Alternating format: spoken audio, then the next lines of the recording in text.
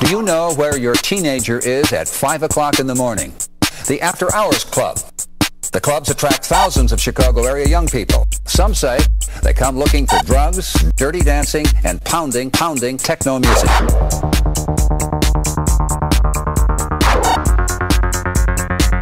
It's 5 a.m. Do you know where your children are? Well, things have changed. Today, the question for parents is, it's 10 a.m. Do you know where your children are?